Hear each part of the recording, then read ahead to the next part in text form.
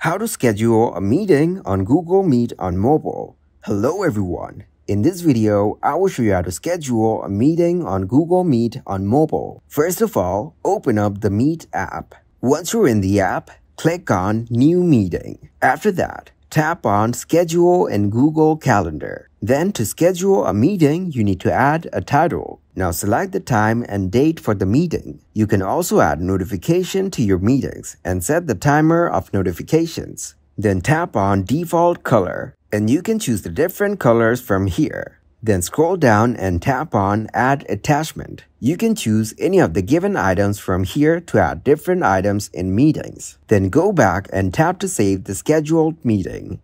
Thank you guys for watching this video. Hope you got some value.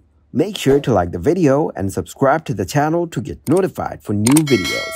See you in the next one.